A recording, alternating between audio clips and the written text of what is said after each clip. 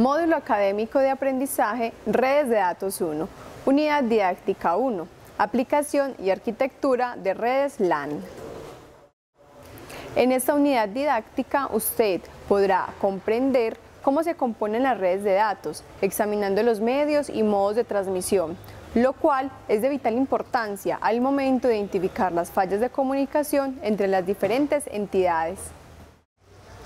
Con lo anterior se le brindará herramientas para diagnosticar las redes de datos, apoyándose en las normas y estándares que le permitan tener una idea de cómo será el tráfico de la red desde antes de su implementación.